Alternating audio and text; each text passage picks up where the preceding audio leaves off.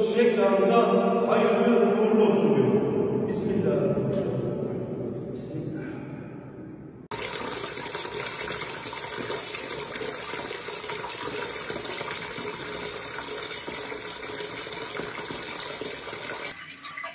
Köyden getirdiğimiz su.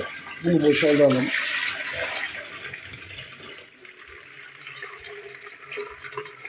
Şu muslukların haline bak ya.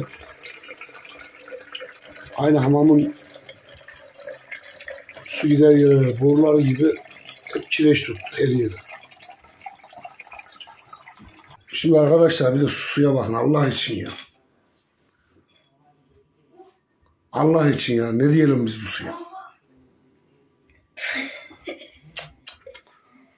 Vicdan, vicdan, el vicdan. Yapacak bir şey yok. Ne diyelim?